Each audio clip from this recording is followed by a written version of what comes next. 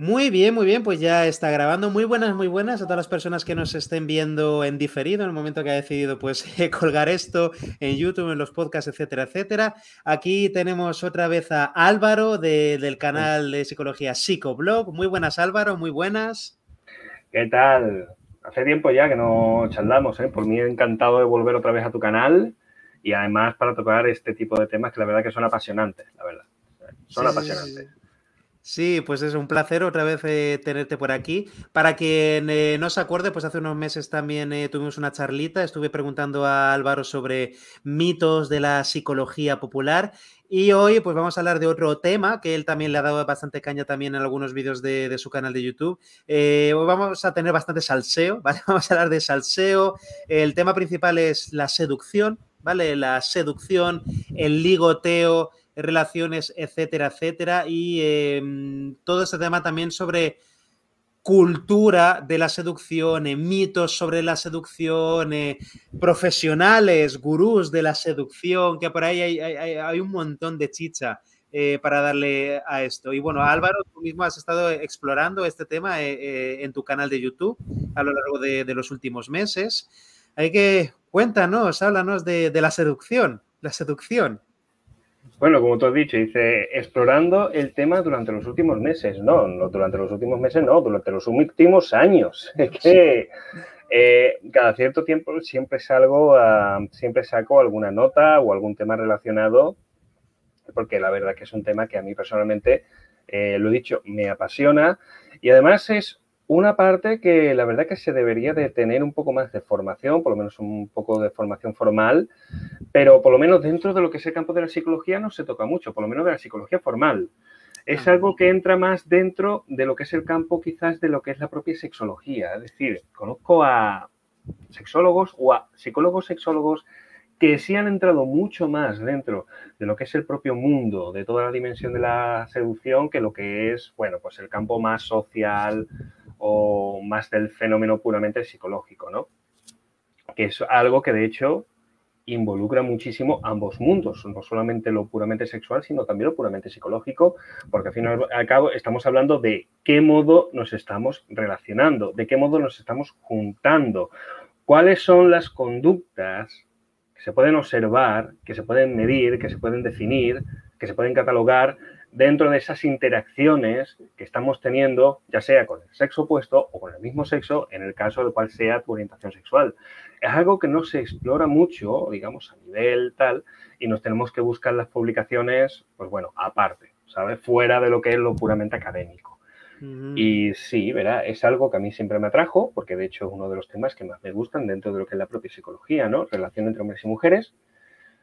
Y justamente en cuanto a la experiencia propia que tengo con la seducción, no es tanto puramente académica, sino que también tiene el origen por lo que es intentar aplicar a uno mismo. Porque vamos a ver, ya que estamos hablando de esto, ¿por qué no te lo vas a aplicar a ti, no? Exacto. Y sí, el origen es, muy sencillo, es decir, casi te podía contar la misma historia que te podía contar a lo mejor cualquier, cualquier coach eh, que intente venderse como alguien que a lo mejor ha, crecido personalmente y ha descubierto la luz. Te lo digo, pues antes, unos tantos de años atrás, pues básicamente era un pringao, ¿sabes? Yo no, manejaba bien esto. Y además, eh, no, manejaba, no manejaba bien porque ya traía de por sí, de base, por eso digo que es una cosa que es importante, que es em, que yo creo que es incluso vital empezar a verla incluso en edades bastante tempranas, por ejemplo, mm. un poco más en instituto, más adolescencia, traía unos esquemas que quizás no eran los más correctos o los más adaptados para, para lo que es el tema del ligoteo, ¿vale? Había ciertas cosas que a mí se me escapaban. Había ciertas sospechas porque en cierto modo siempre había sido bastante autocrítico, reflexivo, pero claro, son de estas cosas que tú sospechas, pero no le puedes poner nombre porque estás limitado a eso. Tú no sabes exactamente qué es lo que pasa, pero tú, tú sabes que algo no encaja. Claro, cuando estás interesado en otra persona, eh, sexualmente o románticamente, y te empiezas a preguntar, eh, ¿qué, leyes, qué reglas, eh, cómo funciona esto? ¿Cómo funciona esto? Y hay alguna manera que a lo mejor conociendo, entendiendo cómo funciona esto, yo pueda también manipular esto y manipularlo a mi favor? Exactamente, a ver, el caso concreto, por ejemplo, de mi parte, estaba claro, ¿no? Esto de que te podían gustar chicas. Y claro, lo primero que se te viene a la mente es decir, vamos a ver, ¿cómo hago para gustar a esta chica? Pues mira, lo primero que se me salía, digamos, por mi propio condicionamiento es, sea amable. Sea amable, sea cercano, sea prudente, sea tal. Pero te dabas cuenta de que no, ¿sabes? Eh, el, el, escala, el escala que tú tenías, digamos, con estas chicas no era el mismo que el que esta chica tenía en la adolescencia con el chulo del pueblo o con el chulo del grupo.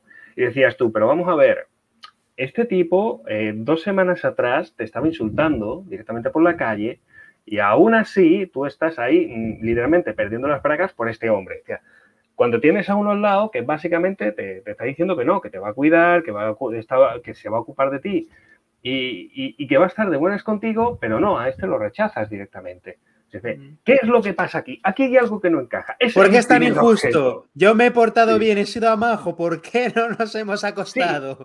La cosa es, yo no lo miraba tanto del punto de la injusticia, que ese es un error. Muchas veces cuando, incluso desde la adolescencia, cuando se mira así, se tiende a mirar la cosa de decir, es que esto es injusto es injusto, la vida es injusta, las, las tipas son injustas. Eh, mm, mm, se mira de es que nadie entiende a las mujeres. sí, porque, eh, como vuelvo a decir, estamos como muchas veces encerrados en ciertos esquemas que pensamos que es exclusivamente esto lo que existe. Mm. Entonces, yo lo intentaba mirar de esa manera. Yo intentaba mirar, verá, yo observaba a mi, a mi, alrededor y más o menos veía esos mismos patrones. Y vuelvo a decir, yo veía patrones, pero yo no sabía ponerles nombre. ¿Vale? Entonces, cierta resistencia mía seguía estando dentro de lo que es el esquema básico que yo seguía del chico bueno, pero yo observaba todo lo contrario. Entonces intentaba como adaptar lo que yo ya sabía del chico bueno a esto, intentar encontrar un sentido a través de eso. Eh, la solución estaba básicamente en cambiar todos los esquemas, pero volvemos a lo mismo, no tenemos una referencia alternativa. De hecho, hablando con algunos de estos chicos, porque por supuesto si hablabas con las chicas, yo le dije, mira, para hablar de seducción no hables con las chicas, habla mejor con los chicos que te pueden... Porque claro, ellas te van a decir, es lo primero que a ti te, que tú pienses, dice, vamos a ver, para, para, saber qué es lo que le gustan a las chicas, lo mejor que te puede, se te puede ocurrir es que le preguntes a las chicas. Y ellas te van a decir, pues no, no te dicen. Al revés, lo máximo que te pueden decir, no, pues mira, a mí me gustan los hombres que sean tiernos, que sean cariñosos, que sean tal, que sean cual. Dice, tu coño, soy yo. ¿Vale? En el futuro sabrás que realmente no te están describiendo al chico que le gusta, le están describiendo al que ella sueña que sea su futuro marido. Pero no al chico que le gusta, así de claro. Claro, luego dice, pero, pero si es que estás ahora con un chico, estabas hace poco con un chico que es que no se parecía en nada a eso que describes. Y de hecho, hablando también con, con otros chavales así más o menos de mi edad, pues ellos intentan ayudar siempre de la mejor intención y lo máximo que te decían eran cosas que a mí me chocaban y me decían, a lo mejor este no es el camino. Y era como, tío, tú tienes que ser, eh, tú tienes que ser un capullo. Así de decir, tú tienes que ser un capullo. Cuanto peor las trates, cuanto peor las trates, más detrás tuyas van a ir. La que tipo de malote y todo eso. Sí, la cosa que es que eso también tiene su clave, porque no funciona como tal. De hecho, lo intenté en cierto, hasta cierto punto, y claro, me di cuenta que no funcionaba por una, por una clave fundamental. Y es que cuando tú tienes ya una imagen predefinida, si tú te comportas de la manera contraria, pues básicamente quedas literalmente como un capullo. Sin embargo, si tú empiezas comportándote como un capullo, que poco a poco va prestando más atención y se va suavizando, el efecto es completamente contrario. Volvemos a lo mismo. Vemos un patrón, pero no le sabemos poner nombre. Eso, digamos que lo experimenté por mí mismo y entonces ya le vi la tendencia. Ah, amigo, ya sabemos que más o menos la, la cosa va por aquí. Sin embargo, volvemos a lo mismo. Todavía no le veíamos, todavía no uníamos los puntos. Veíamos como piezas de un puzzle, pero sueltas, ahí, venga, fuera, pero no lo veíamos todo unido. O sea, estaba todavía la cosa como cuando juegas a la. se ve el programa de la ruleta de la suerte, ah. que ves así los cuadros, eres capaz de identificar un par de palabras, pero no eres capaz de dar con la frase entera. O una cosa así. Entramos a psicología y dices tú, vamos a ver, psicología son eh, cuatro tipas por cada, por cada tipo. Te voy a estar rodeado de tías. O sea, algo se me debe de pegar, aunque sea por osmosis. Eh, tampoco. sí es verdad que, que, tenía muchísimo trato con mujeres, me hice mucho a cierta sensibilidad femenina, todo eso está muy bien, pero tampoco te acerca justamente a ese objetivo. ¿Vale? Mm. Entonces seguíamos sin encontrar esa respuesta. Hasta que en cierto momento de nuestra vida, que de hecho ya estábamos terminando la carrera, incluso estábamos dedicando a, cierto, a ciertos hobbies con los que sí conseguimos cierta habilidad y cierto estatus, por, alguna, por, así decirlo, tuve, por así decirlo, como dos fracasos muy sonados a, nivel de, de. Dije, mm, pues ya está, hasta aquí. Hasta aquí. No puede ser ¿sabe? Que a lo mejor teniendo como la portería abierta para tirar y meter gol, eh, tú falles tan descaradamente. Aquí ya da igual los consejos que hayas podido seguir de gente que supiese, que de hecho seguí y más o menos funcionaron. Da igual la confianza que a lo mejor estuviera mostrando, había algo que seguía escapándose. Y entonces ya dije, no, esto eh, yo necesito como otro tipo de guía pedagógica. Nada de la intuición, nada de no, esas cosas se aprenden haciendo, nada de mm, esas cosas surgen. No, esa es mm, la mitología que también eh, acompaña este tipo de cosas, ¿no? Como que eh, tú tienes que saber jugar al juego, pero nadie te dice cómo, cuáles son las instrucciones del juego. Y es más, no debes preguntar por las instrucciones del juego. Es como una de las reglas.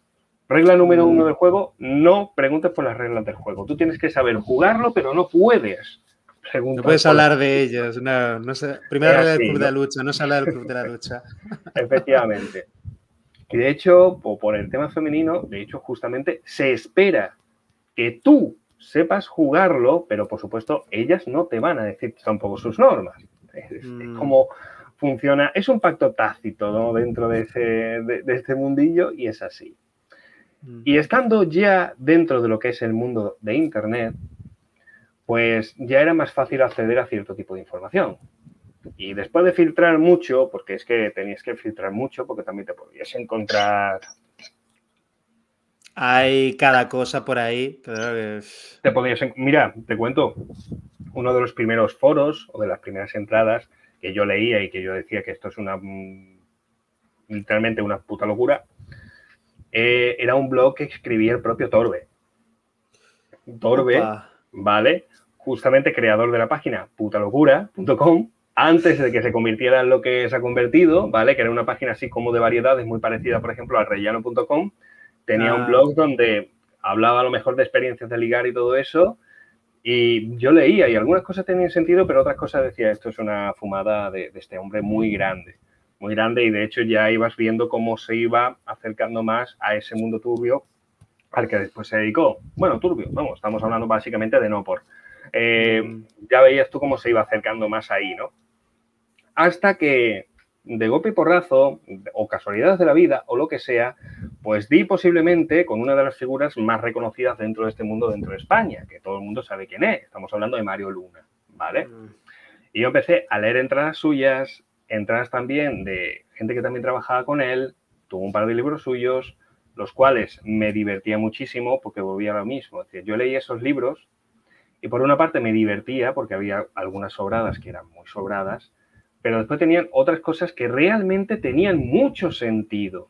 Y para mí fue un cambio de paradigma o un paso adelante porque realmente ya el puzzle se empezaba a ver por primera vez en muchísimo tiempo el puzzle se empezaba a ver bien. Y alguien Tú buscabas un método, buscabas que alguien te explicase las instrucciones y te pusiste a leer el libro de Maradona y empezaste a ver cosas, vale, esto ya me satisface, esto tiene sentido, vale, esto ya lo empiezo a pillar, creo que lo empiezo a pillar. La, interpretación que te daba Mario Luna pues sobre, sobre la, seducción o el cómo ligar, etcétera, etcétera. Sí, verá, también es verdad que había muchas sobradas porque es que, mm, volvemos a la historia, digamos, de, cómo son las publicaciones de Mario Luna, también tienen, tienen su origen. Pero había, por ejemplo, entradas que yo me acuerdo que el noto te decía, pues bueno, tú cuando tengas que salir, pues tienes que salir a lo mejor con algún kit de entretenimiento para, por si se da para, para hacer el juego, ya sea a lo mejor algún kit pequeño de parchís para jugar, o algún juego de mesa, o algunos... Y digo, yo me cago en la leche, o sea, yo tengo que salir a calle con, un, con una gabardina de estos multibolsillos y cuando conozco a una chica, hola, ¿qué pasa? Mira, espérate. Y empiezas ahí a sacar cosas desde, los bolsillos hasta que, lo tengas, ¿no? Pero claro, eran unas sobradas que decías tú, es que ni siquiera pega, digamos, dentro del capítulo del libro. Pero bueno, tú Lo dejas porque justamente eh, Mario, como coach, seguía justamente las líneas que se siguen dentro del coaching y una de esas líneas es venderte dentro del mito del hombre pobre, hombre rico o el mito ah. de la superación personal de yo antes era un pringado como tú, yo no me comía un corín, hasta que, yo qué sé, decidí aprender y empecé a hablar con los maestros más grandes del mundo y me iba a las mejores fiestas para ligar y aprendía de mis errores y tal y cual. Y entonces describí los grandes secretos y escribí este libro para ti para que, para que ahora lo tengas. Y es exactamente lo mismo. así empieza la introducción de esos libros. No te sí, sí, súper expectativas, a saco, guau, vas a convertirte en el dios. Claro, pero después leías y quitando, digamos, toda la paja y toda la morralla, eh, cabía un esquema que más que buscar como métodos o trucos o lo que sea, yo lo que buscaba era como eso mismo, es la figura que formaba todas las piezas del puzzle. Porque una vez que yo lo viese, digo yo, vale, estupendo, pues a lo mejor yo me puedo adaptar a eso. Yo necesito ver el puzzle, no necesito, digamos, que tú me digas, pues primero tienes que hacer esto, después lo otro, después lo otro, después lo otro, que de hecho es lo que normalmente te sueles encontrar cuando vas buscando consejos de seducción. Por consejo de seducción te puedes venir uno de, eh, si quieres seducir a esa chica y que esa chica vaya detrás tuya, pues déjala. Ignórala. Eh, ignórala. Dice tú, claro, pero ignórala. Y ya verás tú cómo, cómo viene detrás tuya. Claro, ignórala, y, pero eso tiene también un procedimiento. Vamos a ver. Para crear, digamos, esa dependencia o crear, digamos, ese efecto, esa persona ya debe de haberse fijado en ti, ya debe de tener, digamos, una expectativa sobre ti. Si no tiene ningún tipo de expectativa, ¿vale? O si simplemente no te valora en ese sentido, que la ignores, pues va a ser un favor para ella. así de claro. Entonces, un consejo suelto puede estar muy vacío. Por eso es mucho mejor, yo lo vi mucho más, eh, ¿cómo decirlo? Más útil buscar el puzzle que los consejos concretos. Y de hecho no solamente quedó ahí. Pasaron los años, yo seguí investigando sobre el tema y cayeron sobre mí libros eh, que más o menos seguían replicando fuera de lo que es el ámbito de la seducción, seguían replicando el mismo modelo en cuanto a relación entre hombres y mujeres. Uno de ellos, por ejemplo, no recomendable porque se queda ya muy anticuado y toca más mitología que, realidades, es eh, Los hombres son de Marte, las mujeres son de Venus, ah, que son posiblemente de las publicaciones a lo mejor de estas recientes que mejor vuelve a recuperar este tipo de cosas. O sea, olvidaos de eso, ¿vale? Pasar, eh, pasar un poco porque no es, eh, digamos, muy... Toca mucho más el tema de mitología que, algo más cercano. Sin embargo, di con una pareja de autores de una, consulto, de una consultoría de habilidades sociales, además, que se llamaban Bárbara y Alan Pierce, es decir, era un matrimonio. Que tenían libros dedicados a temas de negocios, a temas de, de cómo, de, lenguaje no verbal incluso, de temas de cómo comunicarte dentro del mundo de los negocios, pero también tenían un libro muy, muy, muy, que para mí me pareció eh, fantástico leerlo, que se llamaba ¿Por qué los hombres quieren sexo y las mujeres necesitan amor? Así se llama. Buen título. Sí, sí, sí. Y de hecho era un libro bastante extenso, muy, muy didáctico, muy divertido de leer también, porque cada dos por tres te salían con, chistes, utilizaban muchos memes para, representar las, eh, las, diferentes escenas y tal. Y tenía no solamente mucho sentido, sino que encima ya eh, fue como el primer contacto que tuve con lo que era ya no solamente los comportamientos sociales, sino la psicología y también la neurociencia que hay detrás de este tipo de comportamientos. Y vuelvo a decir, no es que sea a lo mejor el libro de divulgación más mm, correcto o el más, por así decirlo, riguroso del mundo, pero es un libro muy informativo, muy divertido de leer y de hecho yo recomiendo, por si os queréis iniciar en este tipo de cosas, yo lo recomiendo. Quizá muchas de las cosas que mencione ya a lo mejor ya se queden un poco atrás o a día de hoy ya se haya incluso perfeccionado ciertos elementos de los que se hablan en esos libros. Pero vuelvo a decir, en una serie de libros, ¿vale? Había otro que era ¿por qué los hombres no escuchan y las mujeres no entienden los mapas? Era, era así. A saco con estereotipos, Pam. Sí, sí, sí. Buen marketing. Justamente con los estereotipos. Es decir, dice, vamos a ver, ¿por qué existe este estereotipo? Pues mira, este estereotipo eh, existe por esto, esto, esto, esto y esto, ¿vale? Detrás del estereotipo sí hay una base de verdad, ¿vale? Nos pasa que la propia exageración de eso crea el estereotipo, pero en base a eso sí hay una serie de verdad que sí se traducen en otro tipo de comportamientos. Que sí que hay una serie de diferencias eh, biológicas y sobre todo neurológicas y cognitivas entre hombres y mujeres. Sí que hay pruebas que ven como a nivel niveles de atención, niveles de memoria en diferentes pruebas y que consistentemente pues hombres y mujeres eh, suelen mostrar diferentes resultados, etcétera, etcétera. Y o sea que sí que hay, hay unas pruebas, hay un eh, rigor detrás, etcétera, etcétera. Sí, y justamente, ya que has tocado el tema, resulta que es uno de los primeros esquemas rígidos con los que hemos crecido en los últimos años de mm. que hombres y mujeres somos exactamente iguales en todo. Pero en todo. Mm. Incluyendo, ya no en cuanto, comenzando, digamos, con el discurso de que como ciudadanos, como ciudadanos somos iguales. Por supuesto que sí. Mm. Tenemos que tener las leyes sujetas para todo el mundo. Por supuesto que sí. En eso no, en eso no hay eh, ningún tipo de ningún tipo de problema. ¿Vale? Pero ahora decir hombres y mujeres son iguales incluso en el elemento biológico porque apenas hay diferencias entre unos y otros, bueno, no sé, verá, que las mujeres sean capaces de parir, que los hombres no, yo que sé, ahí ya hay una diferencia bastante grande. Y normalmente lo que se dice, no, pero es que lo que se ve normalmente en los cerebros no hay muchas diferencias, de hecho hay más similitudes que diferencias. Vamos a ver, estamos hablando de la misma especie, no estamos hablando de comparar a un hombre con un gorila o a una mujer con un cocodrilo.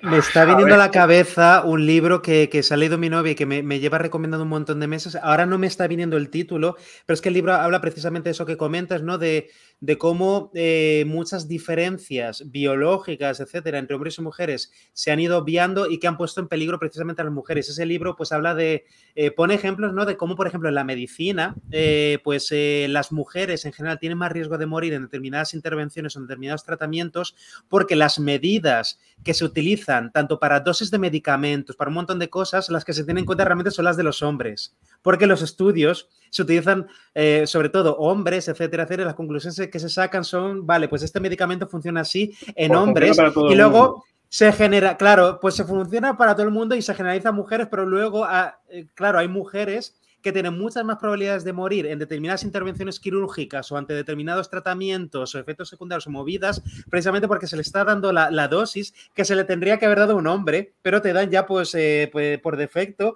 una especie de dosis general. Si me viene luego el nombre del libro, lo voy a, lo voy a poner porque el, libro me han contado que es genial, es muy bueno. Sí, eh, y obras como esa nos podemos encontrar en los últimos años, pues un montonazo, ¿no? Otras a lo mejor mm. más actualizadas, otras menos. Por ejemplo, eh, muchos en su momento pues halagan el libro de El mono desnudo, ¿vale? Que es un mm. tratado hablado sobre todo por un biólogo y zoólogo, que muchas de las cosas quizás pues se obvian dentro del ser humano muchas veces porque no se tiene en cuenta quizás tanto lo que es el aspecto cultural, que también es muy importante, mm. pero vamos a ver, tenemos muchísimas más obras que perfectamente nos pueden hablar de cuál es la diferencia en cuanto al comportamiento de hombres y mujeres. Eh, yo recomiendo, por ejemplo, también el cerebro femenino, ¿vale? Que habla mm. justamente de cómo funciona todo el cerebro femenino desde lo que es la pubertad, eh, el instinto sexual, la maternidad, la menopausia, todo. Y, por supuesto, este tipo de libros también de comparativas que la verdad que suelen ser bastante divertidos, ¿vale? Me acaba de, disculpa, me acaba de venir el nombre del libro, eh, Invisible Woman, ¿vale? O Mujeres Invisibles, ese es el nombre del libro. Igual, luego pondré el enlace en la descripción del vídeo para quienes están viendo, probablemente. Ahora lo digo para acordarme, eh, Invisible Woman. Nada, disculpa Álvaro, ese era el libro, nada, continúa. Bueno, sí, está bien. Eh, podemos seguir mencionando lo mejor obras que siguen hablando sobre el tema. Y tú has dicho, hay hay momentos, o mejor dicho, hay situaciones donde asumir que somos completamente iguales, pues puede perjudicar en algunos momentos a las mujeres, mm. pero también hay otros momentos que directamente pues también perjudica a los hombres, ¿no? Mm. Eh, entonces es algo que directamente no se tiene en cuenta o no se ha tenido en cuenta durante estos últimos años, básicamente con la concepción que tenemos ahora mismo de la educación, de la tabula rasa, de que venimos con la hoja en blanco y que todo es puramente cultura. Y entonces hemos abandonado mucho, ya no solamente a nivel cultural, sino también a nivel ideológico, a nivel político y todo eso, pues mm, volver a agarrarnos justamente a ese tipo de cosas. Entre otras cosas porque siempre se decía que las diferencias biológicas eran directamente discriminativas. Porque claro, a mm. ver, eh, cuando a ti te decían, no, el hombre está hecho para la caza porque su cerebro está dotado para moverse por el medio, para cazar y lo que sea, pero la mujer está hecha para recolectar, para estar en la cocina. La mujer está biológicamente adaptada para estar exclusivamente en la cocina. Claro, si tú lo defiendes así, si tú lo defiendes así, pues, está claro que cuando tú hablas de diferencias biológicas, está claro que tú estás haciendo. No, estás haciendo más. un, ridículo. Estás haciendo más un chiste que cualquier otra cosa. Pero lo peor de todo es que eso eh, era así hace unos tantos años. Es decir, yo me acuerdo, de hecho, un vídeo que creo que se puede encontrar en YouTube. Eh, del Parlamento argentino, justamente cuando estaban debatiendo sobre lo que era el sufragio para las mujeres, eh, lo que es el sufragio universal para dejar votar a las mujeres. Y uno de los diputados se levantaba a él, decía, vamos a ver, yo por mi condición de médico os puedo decir que las mujeres son inferiores a los hombres, porque son más emocionales, son menos reflexivas, médicamente son no sé qué, son no sé cuánto, y era como, es caer exactamente los mismos tópicos, ¿vale? Que sí, tiene esa base biológica que en cierto modo es real, pero como dijimos antes en cuanto al tema de los estereotipos, el estereotipo se crea, pero es que parte siempre de una mm, realidad, una realidad que se extrapola, se exagera para intentar representar un tropo concreto para señalar. Entonces, cuando tú no sabes llevar eso, pues tiene situaciones como esa, que se utilizan justamente ese argumento biológico, médico, barra científico, para tener más fuerza, para defender justamente un, argumento en, en pos de una política que a ti te interesa. ¿Vale? Claro, los gurús de la seducción o bueno, las comunidades, ¿no? Estas personas tipo Mario Luna, etcétera, pues también han hablado, ¿no? De o han utilizado a su favor por ciertos sesgos, ¿no? Ciertos mitos, a lo mejor en toda esa comprensión sobre las diferencias entre hombres y mujeres para eh, pues basar su, metodología de seducción, de ligues, e, etcétera, etcétera. Eh, sí, y eso depende más. Perdón esto depende más, digamos, del autor que estemos hablando, porque mm. dentro de la seducción aquí eh, no hay, aunque hayan corrientes, aquí cada maestrillo tiene su librillo.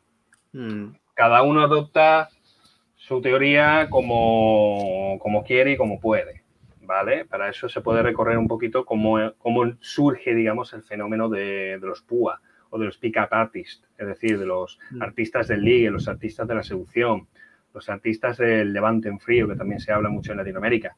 Es decir, gente que directamente pues sale a la calle una noche de fiesta o simplemente durante el día lo que sea y solamente interactuando con las chicas pues terminan pues obteniendo su número de teléfono, simplemente ligando, se terminan yendo con ellas eh, a través de lo que es eso, como una especie de despliegue de habilidades sociales para hacer pues bueno pues que la chica pues termine perfectamente prendada y seducida de, estos Adonis modernos, ¿no?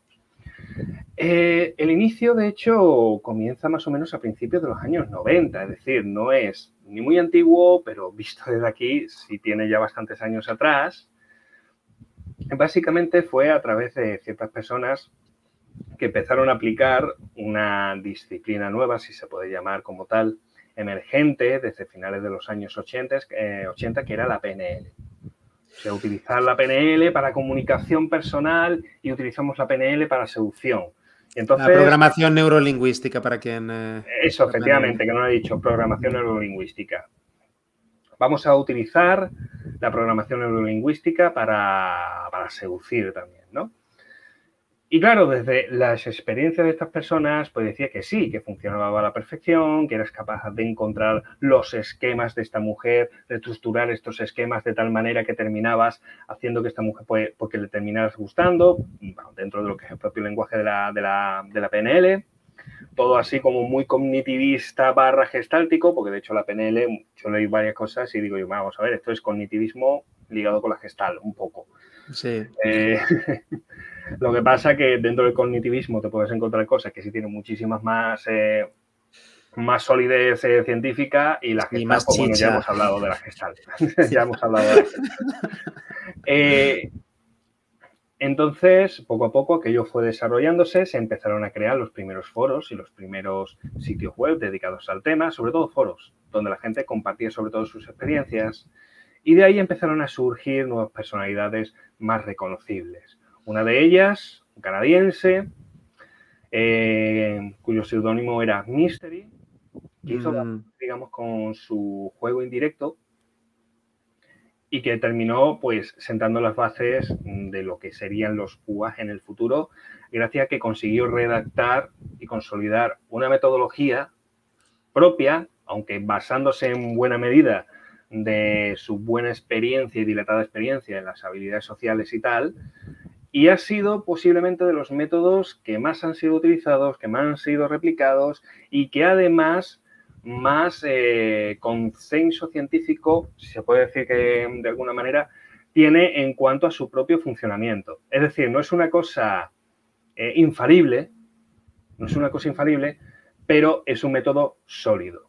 Es un método sólido que además tiene su propia, que tiene su propia lógica interna, ¿vale? Es un método en, en tres pasos, en el cual el primer paso, pues, mm, simplemente es como una presentación, una valorización propia.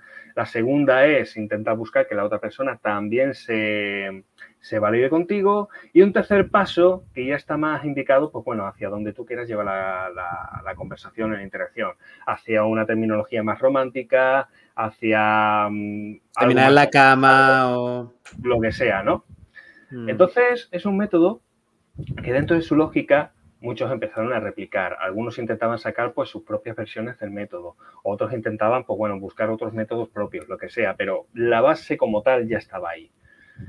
Justamente el boom, digamos, de los PUA empezó con una publicación en concreto, que fue a través del periodista Neil Strauss, que se metió, digamos, de estos mundillos y terminó publicando el famoso libro El Método el mm. cual contaba las historias referentes a, pues a estos púas, ¿no? A Mystery, a todos los que estaban en ese momento y cómo era pues estar con ellos, cómo era dar clases con ellos y cómo era ligar con ellos, ¿no? Y ese libro, que de hecho lo recomiendo también, no es un libro como de los coaches de seducción para aprender, sino que está contado en formato de novela, una novela autobiográfica de su propia experiencia. Eh, pero aún así es muy útil porque habla mucho de los mensajes, habla mucho del lenguaje que se utilizaba dentro de estas comunidades, el cual el lenguaje es muy importante a la hora de entender muy bien cómo funciona este fenómeno.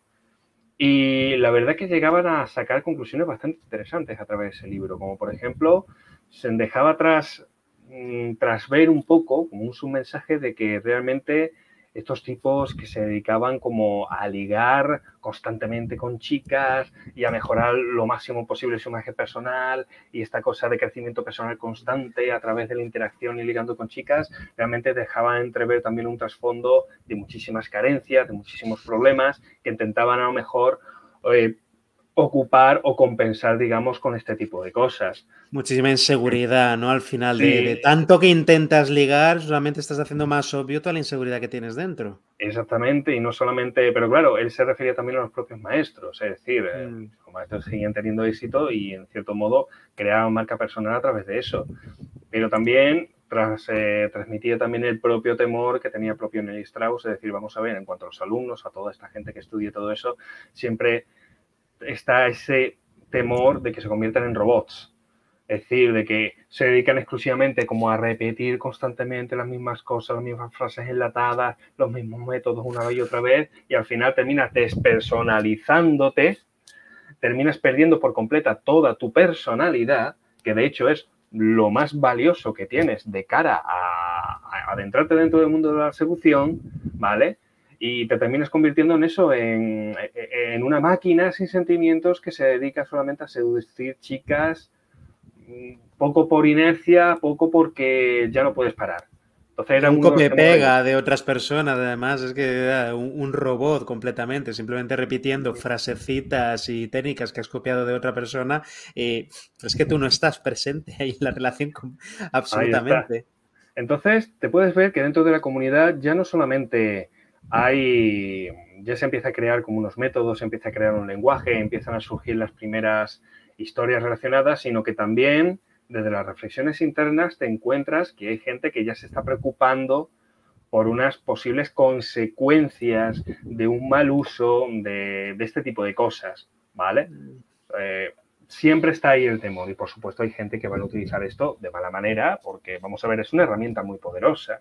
Si a ti te dice, mira, te puedo enseñar habilidades sociales para que tú ligues todo lo que te dé la gana. Le puede ser igualmente útil a un chaval que no tiene a lo mejor mucho contacto social, pero sí le gustaría desenvolverse, y también le viene muy bien a un psicópata que, pues bueno, que está buscando constantemente combustible. O sea, le viene muy bien a los dos.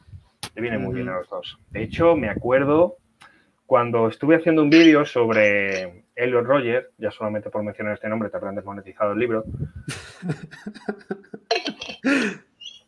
Vale. Em, fue este hombre que básicamente se asocia a eso, ¿no? Fue un atentado incel en el que terminó asesinando a varias personas en un campus universitario, básicamente porque se sentía rechazado por las mujeres y las mujeres no le querían, ¿no? Eso sí, cuando conoces un poco más de la vida de este hombre te das cuenta y dice que no es todo un poco más complejo, más allá de la sencillez y la estupidez tan grande que tenía como, como, como motivo, pero detrás de eso había un pozo de muchísima frustración, de inadaptabilidad, había justamente un trasfondo Mm, del que desgraciadamente a día de hoy mucha gente sí se siente identificada, ¿no? Entonces, a través del portal que se llamaba Return of the King, es decir, de Roche, que de hecho es uno de los púas, digamos, púas contemporáneos, porque cuando hemos estado hablando de Mystery, cuando hemos estado hablando de Neil Strauss, son gente que ya son, mm, estamos hablando de los años 90, ¿sabes? Casi mm. como, ¡guau! Son súper viejos, ¿sabes? Hace 30 años. Han jubilado. Se popularizaron a lo mejor, se empezaron a popularizar a través de los 2000, ¿no? Que fue cuando ya la cosa se hacía más evidente, pero estamos hablando ya de por lo menos unos 20 años, cosas así, casi 30 y... ¡buah! Una cosa súper vieja ya, ¿sabes? Eso está en el otro mm. siglo. Eso está en otro siglo, además. Pero gente como Ross directamente dedicaron entradas en su blog personal a Elliot Roger y, era curioso porque nota, pues resaltaba, decir, bueno, pues aquí tenemos otra, eh, tenemos otra consecuencia de un chico que no sabe cómo funciona el juego. Si hubiera tenido la oportunidad, si le hubiera enseñado las reglas del juego, pues seguramente no se hubiera suicidado, seguramente hubiera tenido éxito con las mujeres y tal. Y es como, a ver, eh, es que, claro, cuando conoces la, historia de Leo Rogers, dices, Ross, si tú le hubieras enseñado las reglas del juego a este tipo, y este tipo las hubiera manejado medianamente bien. No tendrías a un tipo feliz y adaptado socialmente. Tendrías posiblemente a un narcisista dejando cadáveres emocionales por todos lados. Como darle una pistola a un niño. Es una cosa así, es decir, entonces la cosa no es tanto decir que la que es súper peligroso como enseñar seducción, porque al final terminas teniendo una generación de hombres que manipulan a las mujeres y tal. No, vamos a ver, gente que manipula a las mujeres vamos a tener. De hecho, como más adelante podemos ver, vamos a ver también que se está poniendo las tendencias de mujeres que enseñan a otras mujeres a cómo manipular a los hombres. Es decir, la base que estamos manejando a día de hoy no se está eh, trabajando ni de buscar diferencias de roles dentro de la solución, ni de mejorar el tema de comunicación, ni de mejorar, digamos, lo que es la apariencia personal o lo que es la propia marca personal, o simplemente mm, crecer tú como persona para tener algo que ofrecer. No, aquí ya se está hablando directamente de manipulación. Se está empezando a establecer las relaciones que son relaciones de poder, de suma cero, en las cuales una de las partes es la que va a tener todo el poder y va a explotar a la otra parte mientras que la otra parte es tremendamente sumisa, se somete y no explota absolutamente nada. El intento es intentar explotar a la otra persona antes que la otra persona te, empiece a explotar a ti. Es un poco ese, los equilibrios que estamos buscando en el poder. Y es, claro, sacar todo el beneficio que puedas de la, de la otra persona, etcétera, etcétera, y ya sí, está. Sí, sí, es conseguir tus objetivos y no lo, claro, y no los objetivos comunes, ¿no? Al final son tus objetivos los que vas a conseguir y punto. Efectivamente, y además legitimizando eh, todo ese discurso.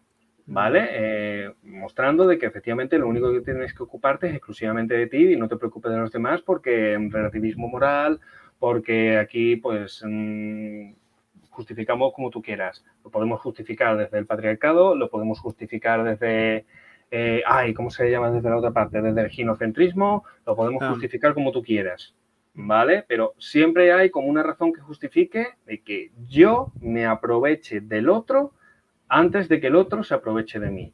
Ya no vemos al otro ni siquiera como un desconocido, ya no vemos al otro ni siquiera como una posible pareja o como un proyecto o como no, vemos directamente a alguien co- como un enemigo, pero un enemigo del cual tiene ciertos recursos de los que nosotros nos podemos beneficiar. Entonces la cuestión es como jugar un poquito al juego de al juego del pañuelo de intentar trincar ese recurso que a nosotros nos interesa antes de que nos pille en mitad del camino. Entonces son tendencias que cuando ves, digamos, eh, digamos, en qué consiste a nivel social tiene su sentido, pero que realmente es bastante preocupante y bastante deprimente ver en qué se está convirtiendo en cierto modo esto. Y ojo, no es que diga que digamos sea la tendencia que se está colando, sino que cuando tú ves justamente a los eh, ay, a los gurús actuales, los supuestos maestros de seducción, aquellos que dan más publicidad para venderse, te das cuenta justamente de que lo que te están vendiendo es eso. ¿Vale? Pero eso no significa que existe, exista gente un poquito como más de la antigua, de la antigua escuela que sí eh, toman ese modelo de seducción de vas a mejorar habilidades sociales para que te desempeñes por ti mismo, pero sobre todo también teniendo en cuenta un crecimiento personal y teniendo en cuenta también tu propia autoestima y teniendo en cuenta también a la otra persona. Es decir, trabajar también con un poquito más de responsabilidad afectiva en ese sentido. Claro, que estás haciendo una distinción ¿no? entre pues, eh, unos eh, gurús de la seducción, los más tóxicos, los más oscuros, tipo Álvaro Reyes, ¿no? Y esta gente más famosa, que sí que tiene esa perspectiva de, de es que, la mujer es una cosa mecánica, tal, vamos a aprender a tocar los botones para al final llevárnosla a la cama o hacer lo que queramos con ella, porque es así, reducirla a simplemente un, pues un objeto, etcétera, etcétera. Y luego hay, hay otra serie de personas que sí que trabajan en esto de enseñar habilidades sociales y temas, pero como tú has dicho, por, con un no nos vamos a aprovechar de la otra persona, sino, vale, podemos trabajar tu autoestima, tus habilidades sociales de manera que a lo mejor disfrutes más de las interacciones sociales, etcétera, que sean consensuales, que haya comunicación, que no haya juegos de poder, etcétera, etcétera, tanto para ligar como para amistades, como heterosexual, homosexual, etcétera, etcétera, simplemente que, que te lo pases bien en las relaciones, tanto de amistad como de... La, estás haciendo esa distinción entre esas variantes, ¿no? Esas vertientes dentro del mundillo de la de esta seducción, habilidades sociales, púa, etcétera. Sí, de hecho, hay ciertos talleres o ciertos expertos mm. que, de hecho, gente que a lo mejor, pues eso, han estudiado psicología, son psicólogos mm. o son sexólogos, son gente que se dedican también a entrenar a otros chicos, pues en este tipo de habilidades, y han dicho que han recibido gente de estos gurús, ¿vale? Y están adoctrinados a unos niveles que, que, que, que, no pueden deshacer esas ideas. Es decir, las ideas que le meten a esta gente en la cabeza, ellos mismos, siguiendo los métodos normales de aprendizaje, pues no son capaces de sacarle esas ideas en la cabeza. Es como no si hubieran salido de una secta. Claro, no, no, es, tienen el sí, cerebro completamente lavado. Justamente eh, dentro de estos cursillos y tal, eh, se realizan muchos tipos de tácticas coercitivas porque al fin y al cabo tú dependes de la dependencia justamente de, esto, de esta gente. Necesitas que adoren el método, que te adoren a ti, que adoren el mensaje que haces para crear una fidelidad. Que al fin y al cabo esto es un negocio y justamente esa es la finalidad que tú tienes. Porque si tú consigues esa fidelización, estás consiguiendo dinero porque esta gente van a seguir desembolsando. ¿Vale? Eso sí, que después se dedican a básicamente acosar a la mujer por la calle, eh, lo de menos. Ellos se lo han buscado. O sea, ya, esos son pues, eh, funciona, ¿no? los más asquerosos y etcétera, etcétera, machistas y sí, sí, los que... No. Y bueno, estamos hablando, claro, porque lo más extendido son los modelos varones, pero es que también tenemos modelos mujeres. También hay algunas, claro, por supuesto, también hay mujeres eh, gurús de la seducción, ¿no? En ese de sentido. Hecho, de hecho, hace unas, hace un par de semanas eh, comentaba en uno de mis directos justamente eh, a una de estas tipas que se movían sobre todo por TikTok, ¿vale? Mm. Eh, con, la nueva metodo, con la nueva mitología de mujeres de alto valor. Y básicamente lo que describía dentro de ese TikTok es, vamos a ver, los hombres, el mensaje principal es, los hombres con recursos o los hombres con dinero quieren a mujeres interesadas, ¿vale? Porque si tú vas de voy a colaborar en la pareja, voy a aportar, siempre centrado exclusivamente en lo económico, voy a aportar de mi parte, voy a aportar de mi sueldo y tal, pues resulta que me he encontrado con mucha gente, con muchas amigas que dice que ellas aportaban en su pareja y los novios los han terminado dejando por otras tipas. ¿Por qué? Porque el hombre es proveedor, está en su naturaleza. Al hombre le gusta proveer, entonces las mujeres pues tienen... Claro, o sea, me estás diciendo que el hombre por sí solo básicamente gana su dinero porque, porque es un banco andante. Ya está, es un banco andante, lo que quieres es darte tu dinero a ti que eres muy guapa. Entonces, te ves justamente de que se explotan muchísimo ciertos roles, los intentan llevar al límite y los intentan justificar para después venderte las técnicas de manipulación emocional como si fueran algo necesarias o incluso como si fueran auténticos potenciadores de esos elementos biológicos. Que de hecho es una de las bases en las que se basa el tema de la seducción, sobre todo la heterosexual. Tú mm. lo que haces es como potenciar justamente esos elementos biológicos para parecer más atractivo para la otra persona. Pero claro, los de la vieja escuela se basaban, digamos, como en ciertos preceptos psicológicos que en sí tenían sentido y las habilidades sociales estaban encaminadas justamente a fomentar eso. Pero es que ya no estamos hablando, eso ya como que se obvia y lo que mm. estamos llegando ya es a otro nivel, es a intentar justificarte como que no, no, es que a los hombres en cierto modo, prácticamente estás diciendo, es que a los hombres les gustan que les manipulen. Y al contrario, es que a las mujeres lo que están buscando es que tú las manipules. Porque les encanta, porque es exactamente eso, como biológicamente lo que estás buscando. Claro, y tú, ellas lo que quieren es dinero y que les transmitas poder y autoridad, y tú, ellos lo que quieren que les transmitas es sumisión, etcétera, etcétera, porque si empiezas a ser muy independiente a ganar, poner tu propio dinero ahí, le estás castrando de alguna manera, entonces lo vas a perder porque lo va a percibir, ¿no? Y estas ideas súper tóxicas sobre la masculinidad y la feminidad, ¿no? Súper extremas. Eh, sí, estamos en un tiempo donde se habla mucho de lo que es masculinidad tóxica, lo utilizamos mucho para escuchar para muchas maneras, pero también existe la, la feminidad tóxica, mm. ¿vale? Y no se suele mencionar tanto, no se suele, no se suele desarrollar tanto, pero también existe y de hecho se mm. fomenta. Y si por esta parte estamos criticando muy abiertamente, por ejemplo, los modelos más tóxicos que se pueden transmitir a los hombres, eh, no veo tanto que se esté denunciando esa misma parte por parte de las mujeres. Y es tan necesaria. Menos. Y es que es tan necesaria tanto una cosa como la otra. O sea, a mí me vale que perfectamente tú seas capaz de verle las orejas al lobo a alguien desde lejos y decir, pues mira, este tipo de tácticas para los hombres pues una, es una mierda, así, así visto, pero que te atrevas incluso a justificar lo que se hace por la parte femenina. Dice, no, no me, no me parece para, para nada bien, ¿vale? Si estamos aquí con unas, estamos con otras, ¿vale? Y si lo que estamos buscando a lo mejor es una mejor interacción, en este tipo de cosas tenemos que denunciar la parte mala tanto para los hombres como la parte mala tanto para las mujeres. Porque de hecho, lo gracioso de esto, ¿tú sabes qué es? Que si nosotros sacamos en una noche de fiesta, sacamos el estereotipo clásico del hombre entrenado por esta gente y el estereotipo clásico de mujer entrenado por estas otras maestras, esta gente no se iban a encontrar en toda la noche. No se iban a encontrar. Y es paradójico porque se supone están hechos uno para el otro. Claro, se supone que tú desde tu perspectiva, por ejemplo, desde la perspectiva puramente masculina, eres un tipo potenciado sexualmente al máximo para ser atractivo a la imagen más femenina de la otra parte. Y la otra parte te está diciendo que es la parte más potenciada de lo femenino. Entonces, ¿qué pasa? Que, que no se van a cruzar. ¿Cómo es posible eso? Pues justamente porque no estás obedeciendo justamente a eso mismo que tú estás diciendo, no estás potenciando sobre lo, eh, sobre lo biológico, no estás convirtiendo a un hombre como más hombre y a una mujer como más mujer, haciendo que uno se sienta muy atraído por el otro porque realmente se sienten ese atractivo como tal. O sea, no, no estás haciendo. Estás creando a un depredador y estás creando una depredadora. Y ambos, cuando salgan de noche, pues van a buscar presas. Y, van a hacer y el otro no es una presa, el otro también es un depredador. los depredadores entre ellos lo que hacen es pelearse por los territorios, pero no se casan, no se juntan, no se reproducen.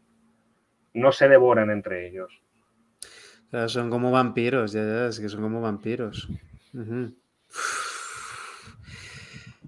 Es que TikTok es una mina, ¿eh? TikTok es una mina. Este, TikTok es una mina de oro. Te, encuentras cosas muy buenas, te encuentras cosas muy positivas, te encuentras reflexiones, de hecho, que, que, valen mucho la pena. De hecho, yo puedo utilizarlas mucho, sobre todo en los directos y tal, pero después te encuentras una cosa, después te encuentras un nivel de estulticia tremendo, ¿no? Pero mm. se aprovecha, se aprovecha porque volvemos a lo mismo. TikTok es como muy independiente de nuestro medio, que es YouTube, y muchas veces está así como un poco más aislado, pero no está mal revisarlo porque justamente eh, las ideas que se ven poco a poco se van haciendo más tendencia. Entonces, si se señalan de alguna manera, en cierto modo estás actuando un poquito como, como vacuna. Estás haciendo que la gente por lo menos se pueda dar cuenta.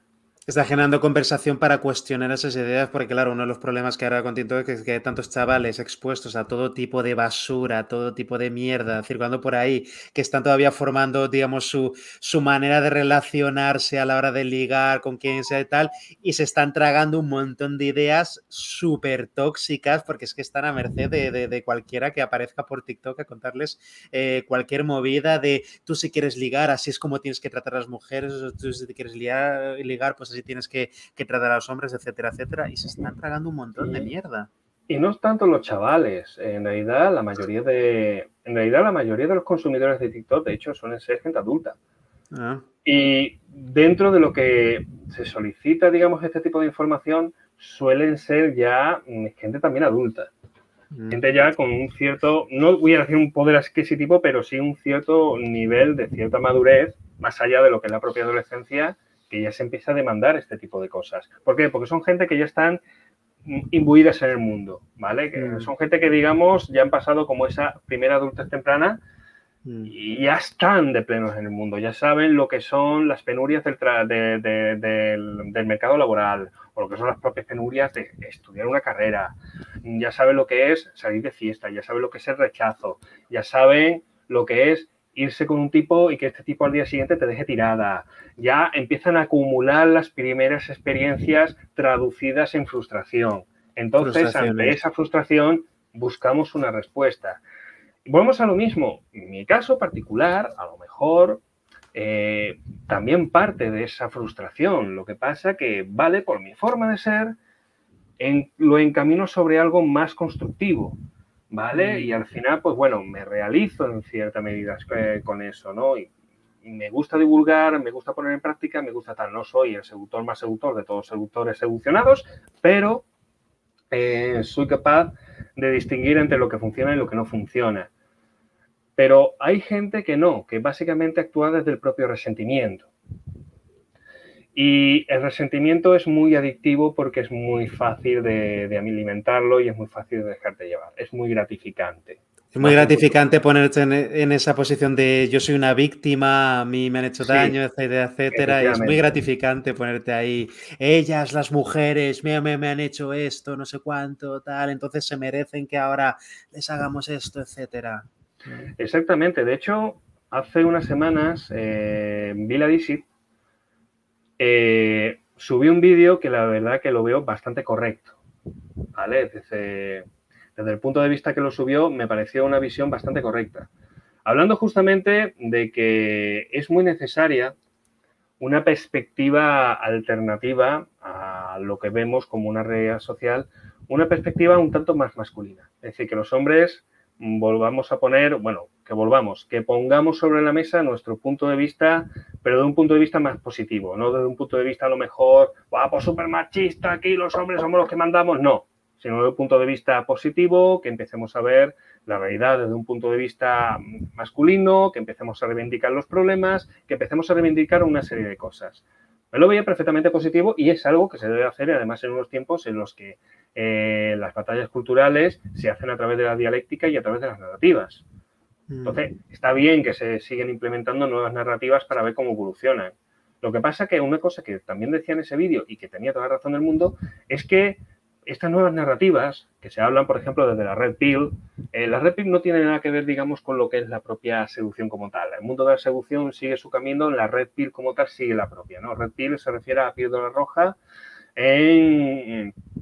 Ya podemos hablar en otro oh, momento de la Red Pill porque es otro mundo completamente diferente, pero básicamente es una, digamos, una posición o una visión alternativa a cómo se ve las relaciones de género entre hombres y mujeres Mm, alternativa, digamos, a cómo solemos verla en cuanto a la perspectiva del, del, igualitarismo, del feminismo más radical y todo eso, ¿no? Ofrece una visión alternativa desde un punto de vista masculino.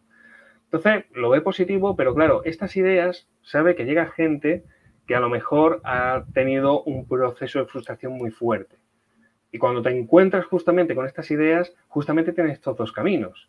O te mm. realizas o te frustras y te mm, hablas de resentimiento. Y él mismo está observando de que cada vez más son la gente que decide dejarse llevar por el resentimiento más que por la realización. Y ese era el punto negativo que él veía todo esto. Es decir, vamos a ver, está bien que tú te inicies en nuevas perspectivas, porque todo lo que sea ver el mundo desde más perspectivas posibles, pues mejor, porque tienes una visión un tanto más completa, que no del todo mm, absoluta, pero sí un poco más completa y te permiten a lo mejor encontrar nuevas eh, respuestas, lo dicho. Yo cuando me empecé a investigar sobre el tema de los púas encontré muchas respuestas, no las absolutas, pero ahí estaba y me animó a seguir investigando sobre el tema. Pero por lo dicho, busqué sobre la realización y no hablar de resentimiento, que en su momento sí sentía mucho resentimiento. Pero lo que se estaba dando cuenta desde la observación de este autor en concreto era que, sí, que se estaba dando cuenta de que cada vez había más resentimiento. Muchas personas se quedan atascadas en ese resentimiento cuando se unen a estas comunidades para aprender sobre seducción y tal, y básicamente es armar a un niño con un arma, que etcétera, que va a utilizarla de manera perversa y para manipular y aprovecharse de otras personas, etcétera, cuando están motivados por el resentimiento.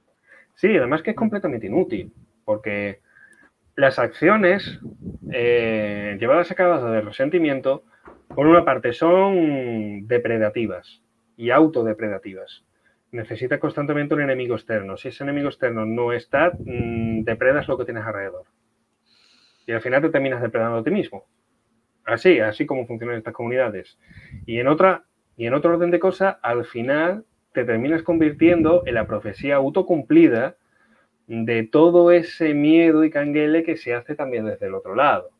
Mm. Pues cuando nosotros hablamos, no, porque estos grupos son unos machistas, no sé qué, no sé cuánto. Y claro, cuando te ven los mensajes de Twitter mm, de, cierta gente que también está muy trasnochada por el otro lado, y empieza a señalar, ¿lo ves? ¿Lo ves? Aquí tenemos las pruebas, ¿lo ves?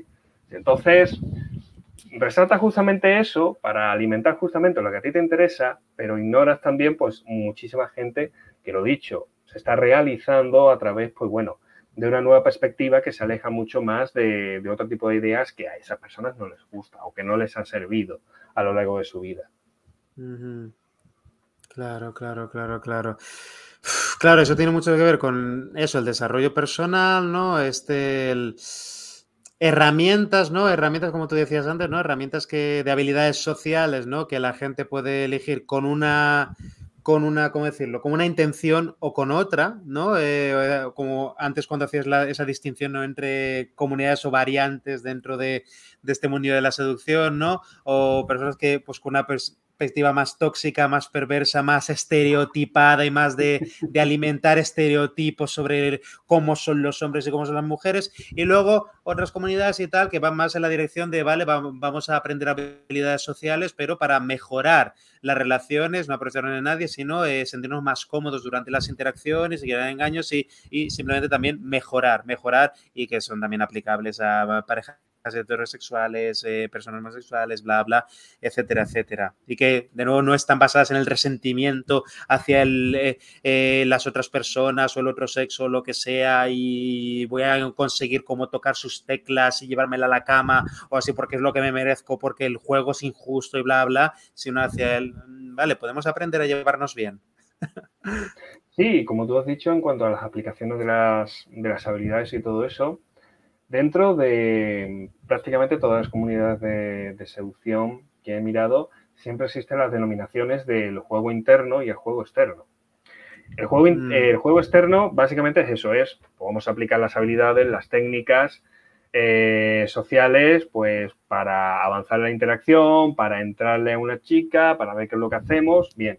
Pero el juego interno eh, también es importante, porque el juego interno justamente es el desarrollo propio, cómo desarrollas tu propia autoconfianza, tu propia autoestima y cómo también eso va a estar acompañando a tu juego externo, porque de hecho una de las cosas que más se suele fomentar, por lo menos vamos a hablar de la Old School, es justamente la confianza en uno mismo, pero la confianza forjada a través de eso, de, de la autodisciplina, de la autorreflexión y de saber, digamos, cuál es tu límite, cuáles son tus cualidades personales y eso solamente lo Mm. puedes encontrar tú.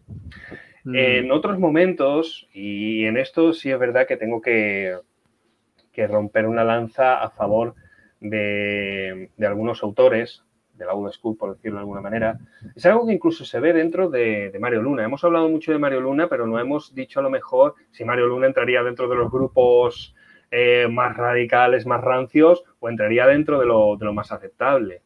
Y parece que no, pero te pones a ver realmente el mensaje que transmite, que también es verdad que Mario Luna como tal, como coach y como eso, ha tenido también un desarrollo bastante largo, eh, pero dentro de lo que hay, su mensaje es muy suave. Lo que es muy suave, es decir... Él es de los más light de todo, Sí, sí. entre todo lo que hay por ahí.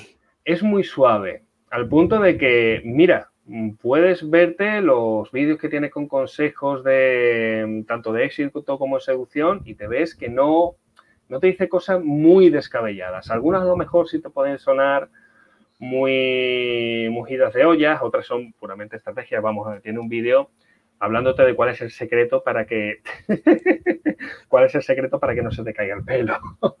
te, te llega tarde. Te llega tarde. Yo ya, yo ya estoy contento con mi, mi, Con identidad de Bruce Willis, exacto. Ahí está. Llevo años eh, yo, sintiéndome súper confianza sexy. de Bruce Willis, ahí del tirón. Entonces, se podía tirar durante yo que sé cuántos minutos hablándote que si la ciencia detrás de los folículos y no sé qué, no sé cuánto, para al final decirte que el secreto es cepillarte el pelo todos los días. Y te cuentan eh, movidas de testosterona y, y te, te, venden a lo mejor movidas también de estas de, buah, si haces tal ejercicio, la mandíbula se te hará más ancha y entonces parecerás más atractivo, ¿no? Eh, no, eh, justamente en ese vídeo era sobre el tema de, del pelo. Y decía, no, al final el, el, el, el, secreto es cepillarte el pelo todos los días, porque así oxigenas, así tienes. Y dice tu hijo, la grandísima, tío, ¿cómo me la has colado, cabrón? Un vídeo aquí de 10 minutos para que tú me hables de los puñeteros folículos de los cojones, para decirme que me, que, que me, cepillo, me cepillo el pelo todos los días, cojones. Porque así podía meter dos anuncios, más anuncios, claro. Si pasas de 8 minutos en YouTube puedes sí, meter más muchas anuncios. Veces, vale, sí, muchas veces dices tú, pues vale, me vas a hacer la del partner, pero ojo, que yo también hago la del partner porque yo también estoy en YouTube. En cierto modo lo veo con, con un punto de humor, pero es, digamos, como el mensaje más light de lo que te puedes encontrar. A pesar de que sí, a Mario Luna se le ha criticado mucho, tiene cosas que pueden ser muy criticables, por supuesto que sí, uh -huh. pero es lo que te encuentras. Pero una de las cosas importantes que tiene, tanto él como gurús que siguen su línea, o formadores o coach que siguen su línea, es basar buena parte no tanto en lo que son las técnicas externas, sino en las técnicas internas. Es decir, ten más confianza en ti mismo, cree en ti mismo, eh, fórjate una buena identidad, forja una buena personalidad, potenciala, mira cuáles son tus lados más atractivos, los más sociales, los más que tú valores y ve mmm, desarrollando justamente esas partes. Las otras, pues mira, las perfiles, porque de las perfiles, porque por supuesto nadie puede ser perfecto, todo el mundo tiene defectos, pero si tú puedes ir perfilando tus defectos y potenciando tus virtudes, previo descubrimiento de todo esto, pues va a ser mucho mejor para ti. Te vas a sentir mejor, te vas a poder, vas a poder hacer lo que tú dices, vas a poder salir, te vas a poder divertir más, vas a sentir menos inseguridad, porque al fin y al cabo tú sabes exactamente que lo que estás buscando, que es una cosa muy importante que también se mira de ciertos sectores de la seducción, es decir, definir también qué es lo que tú quieres exactamente, es decir, quieres una relación a corto plazo, una relación a largo plazo, quieres un rollo de una noche, quieres una aventura, que todo eso es muy importante también, porque también va a determinar el perfil de persona que tú necesitas en ese momento. Y eso es interesante también, que es que mm, tenemos que ser cada vez también más selectivos en ese, en ese sentido. Mm. Que está, sí, la línea biológica de que el hombre es más activo, por lo cual busca más mujeres y tal, vale, sí, muy bien, lo que tú digas. Pero dentro de, qué sé, de todo el porcentaje de mujeres, a lo mejor en este momento a ti lo que te interesan justamente son mujeres con un sentido de la aventura, con un sentido de, de la actividad tal, y con la que yo pueda a lo mejor pues ir de viaje y compartir este tipo de experiencias. O a lo mejor yo estoy buscando justamente todo lo contrario. Yo ahora mismo estoy buscando una mujer que, esté más comprometida, que esté más en la visión de buscar una familia y yo lo que quiero es estabilidad. ¿Por qué? Porque yo estoy cansado de todo y yo lo que quiero es estabilizarme. Depende mucho de cada persona lo que estés buscando.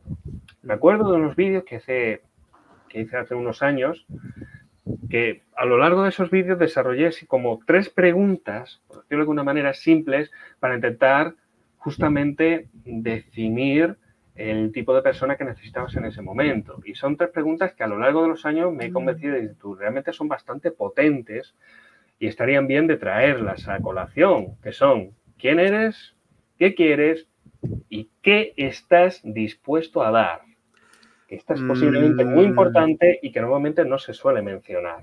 Qué buena sobre todo la última, que estás dispuesto a aportar, a dar eh, por, una relación, por una interacción a la otra persona, etcétera. Sí, y que además, mm. para contestar esa última, necesitas justamente contestar bien a las dos anteriores. Claro. Porque para mm. saber exactamente qué es lo que quieres, debes de definirte tú bien, eh, bien visto y para saber qué es lo que quieres, tienes que saber también muy bien qué es lo que tienes dentro de tu repertorio, de lo que eres capaz de aportar, porque todo el mundo debe de aportar. Quien te diga lo contrario, que solamente es, eh, desconfía. Si no, esa interacción no va a funcionar y eso, desconfiad, desconfiad. Desconfía. Quien te diga lo contrario de que no te hables desde el aporte personal, eh, desconfiad. Al final eh, se tiene que ceder tienes que sacrificar algo, la otra persona también tiene que, sacrificar algo, pero si tú partes, como también en otras lecturas, si tú partes desde un marco psicológico sólido, ¿vale? Eh, marco psicológico es alguien que se ve que sabe exactamente qué es lo que quiere, ¿vale? Y que, es una persona abierta sobre ello, que, es clara desde el principio, no darle vueltas, oye, mira, yo estoy buscando esto. Entonces. Eh, sí, alguien que no sea como, ay, no sé, no, no la indecisión no, no, mola mucho. De hecho, me acuerdo de este famoso programa, First Dates, aquí en España, que es maravilloso para encontrarte. Es una fuente de memes. Uf, de memes. Eh, y es que lo hacen bien porque juntan a gente muy dispar o a gente muy par. Es casi como queremos hacer, queremos tener este resultado y sabemos cómo obtenerlo. Se ponen a mirar los diferentes perfiles. Me acuerdo una pareja en concreto, una bastante indefinida y la otra, de hecho, era una chica que era de, aquí de Sevilla, donde vivo yo, y que era bisexual, ¿vale? Entonces, pues estaban sentadas y, claro, ella desde su punto de vista bisexual y tal, se veía que era una tipa que estaba muy segura de sí misma, que sabía perfectamente lo que quería, que tenía su experiencia y tal. Y claro, le pregunta a la otra chica, bueno, ¿y a ti personalmente qué es lo que te atrae, qué te gusta, no? Porque, claro, dentro del universo es muy diferente verlo desde el punto de vista puramente heterosexual, que casi desde la perspectiva que hemos estado hablando aquí, desde la perspectiva de la homosexualidad, incluso desde la perspectiva de la bisexualidad. Entonces, bueno, ¿y a ti qué te mola? ¿Qué es lo que te atrae? Tal. Y la otra chica empezó a decirle, bueno, pues mira, todavía me estoy definiendo porque pasé una temporada en la que quise probar la heterosexualidad, pero después me pasé a probar el lesbianismo, pero el, el, lesbianismo abierto. Después aún estoy en la duda, no sé si soy mm, bisexual, pansexual o dos espíritus, porque dos espíritus la verdad que es una cosa que me atrae mucho me parece muy interesante, pero no sé qué, y empezó a darle una, un, un, voltio ahí, que la tipa, la otra tipa, te vuelvo a decir, la otra tipa que también se veía muy alternativa, estaba flipando, estaba, así como congelada, como diciendo, ¿qué? ¿Qué? qué? Estoy confundidísima, eh, aclárate porque si no, conmigo no vas a ir a ningún sitio. Sí, esa cosa, pero después le volví a sí, mira, no, que, que esto es sencillo, vamos a ver, pero ¿a, ¿a, ti qué te gustan, los hombres o las mujeres? Y la otra tipa decía, ay, pues es que todavía no me he decidido si me gustan los hombres o me gustan las mujeres, o prefiero que no me guste ninguno y me hago asexual. Y dice, ya, que, esto no es cuestión de decisión, joder, vamos a ver qué es lo que te pide el cuerpo, qué es lo que te tira, no sé qué. Es lo que, es lo que le estaba diciendo a la otra. Entonces, la otra estaba como, ¿qué me estás contando? que estaba con la duda de si siquiera le gustaban las mujeres o no y estaba teniendo una cita con otra mujer. Sí, y era la cosa. Entonces, claro, como son citas a ciegas, pues así es como se reparten muchas veces los papeles. Pero mm, te podías ver perfectamente como un rol eh, seguro de sí mismo, como era esta otra chica que iba además con toda la intención del mundo, pues mira, por lo menos de pasárselo bien, que estoy aquí en el restaurante, estoy en la tele, pero voy a pasar bien. No tenía como ese carácter también como más festivo, más abierto. Pero la otra persona la veías y es que mm, parecía otra cosa, era completamente muy rígida, apenas tenía, apenas tenía gesticulación, mientras que la otra chica estaba constantemente moviendo y movía las manos, se ponía, hacía posturas, la otra apenas se estaba moviendo, es decir, es como, como una persona medio hacer.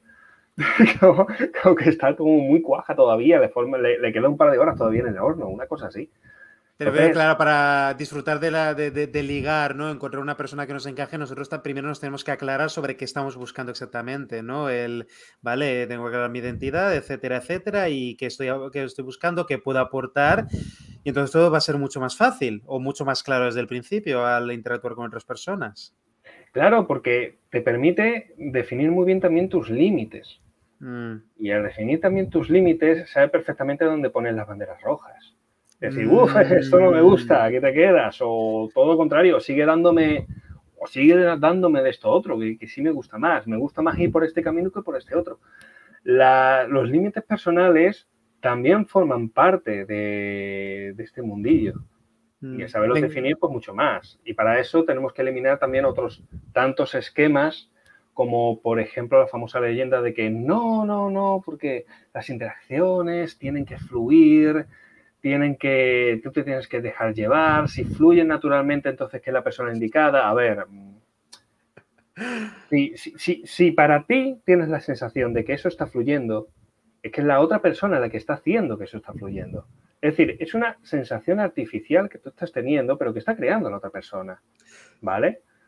Eso hay que tenerlo también muy en cuenta y que también es un mito muy extendido. La otra persona, claro, puede estar manipulando, puede estar utilizando ciertas técnicas, etcétera, simplemente para mostrarte lo que piensa que tú quieres ver, etcétera, etcétera, para que te sientas cómoda, cómodo y luego pues puede ir a la cama, ¿no? Pero que al final eh, necesitamos conocer a una persona muchísimo más, ¿no? Para poder. Claro, es. Eh, es como, por así decirlo, establecer, como dijimos antes, es como establecer tu marco psicológico de inicio, ¿vale? Partiendo desde, desde, desde, esos principios. Y antes me había reído porque se me vino a la mente una anécdota. Eh, cuando eres el amigo psicólogo de mucha gente, al final terminas dando consejos a largo y siniestro a todos lados. Pero una de las cosas que más me han impactado en estos últimos meses fue que tuve que aconsejar a una chica a cómo ligar con otra chica. ¿Sabes? Que una chica que ha sido bi, siempre había tenido parejas heterosexuales, pero mm, quería abrir un poco más la experiencia a su lado más homosexual, mm. pero se dio cuenta de que no tenía ni puñetera idea de cómo, ligar con, mujeres, a pesar de que ya tenía justamente a, una pretendienta en Tinder con la que llevaba ya tiempo hablando, se veía perfectamente ahí el tonteo y tal, y claro, iba, a ser la, eh, la primera toma de contacto, la primera cita. Mm. Y claro, solamente le di un par de consejos y tal, para que tuviera una referencia sobre todo del marco. Y venga, a realizar la cita. Sé perfectamente cómo es esta mm, chica. A lo mejor quizás pues eh, le cuesta un poco más, sobre todo en este mundo que se está iniciando, pero me hizo muchísima gracia. Eh, o sea, me acuerdo yo que era una noche, esa misma noche, en mitad de tal me, me, escribe y me dice, Álvaro, por favor, temas de conversación, temas de conversación. dice, que quiere que te escriba ahora, por Dios? ¿Cómo rompo el hielo? Estoy en el baño, dime qué le digo ahora al volver. es justamente. Está en sí, el baño, está en la, Está en el baño, dame temas de conversación. Y fue como, eh, fue divertido. Y de hecho no es la primera vez, dice, mira, no me puedo poner de Cirano de Bergerac contigo, que no es la primera vez que me pongo yo de Cirano con alguien. O sea, tengo otras anécdotas peores. Es decir, eh, me acuerdo también con otro colega, y esto hace ya bastantes años, que ya no era tanto para ligar, sino para arreglar un conflicto que tenía con su pareja, un conflicto gordo, es decir, era o lo arreglaban o la relación se iban al garete y realmente era una situación chunga porque él realmente se querían, pero el conflicto se estaba poniendo muy intenso. Y me acuerdo yo de que me escribió por el chat de Facebook, ¿vale? En otro momento, y el tipo me decía, Álvaro, tío, que tengo este problema, no sé qué, después de haberlo hablado previamente. Lo que pasa es que la cosa se empeoró por otras, por otras cosas que no vienen al caso. Mm. Y que, que volvemos a tener problemas. En otra nada más que me hacía mandar capturas de, las respuestas también de la otra chica.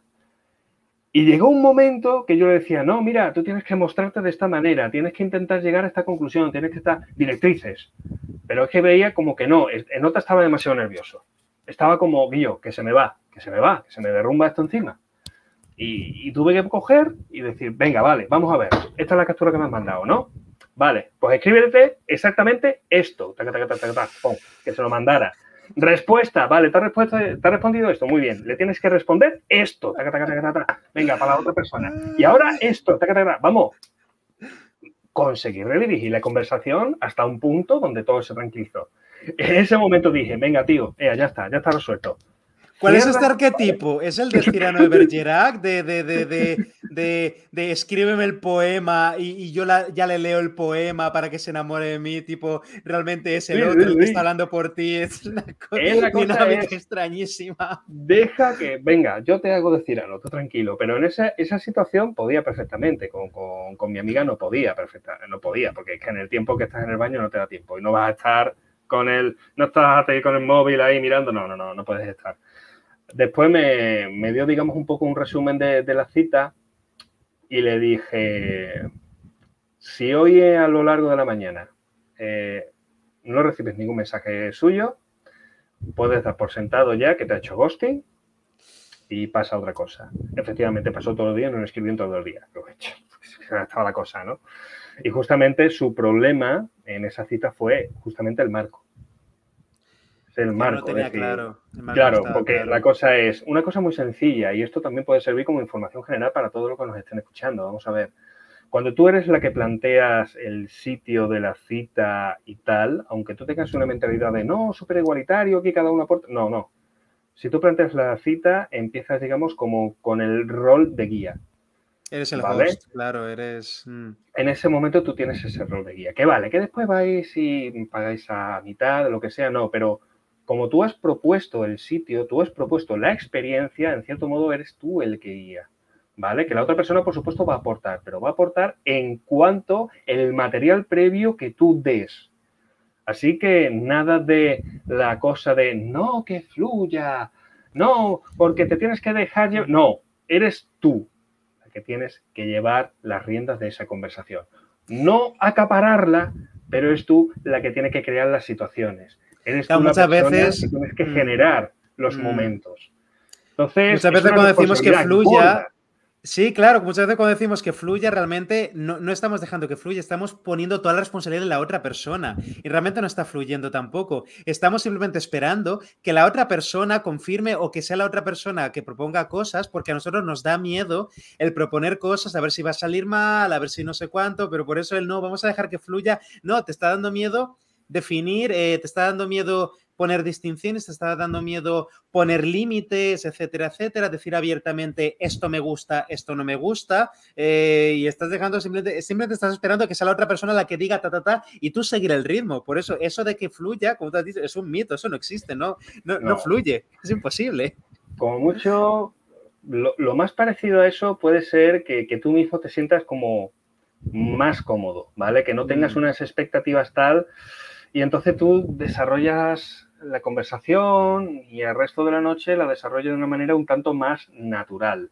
En el sentido de que no tengo como esa presión de querer impresionar, no tengo... Y la verdad que es que cambia una barbaridad las cosas cuando tú por dentro estás muy nervioso porque tienes como una necesidad imperiosa de intentar buscar la validación de la otra persona a mm. cuando te lo tomas al punto de decir, ostra, pues mira, he conseguido una cita con esta chica que a lo mejor no tenía ningún tipo de pretensión.